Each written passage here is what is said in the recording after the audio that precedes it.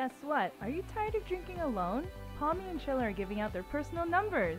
If you call 1 900 Palmy, you can listen to their private phone messages and get their personal numbers to drink with them live in person. Give that number a call, and I'll give you a number to my private line. Drink a bottle from my personal stock. I mean, you'll call this number, and then they're gonna give you another number, and then I'll, I guess I'll pick up the phone and, uh,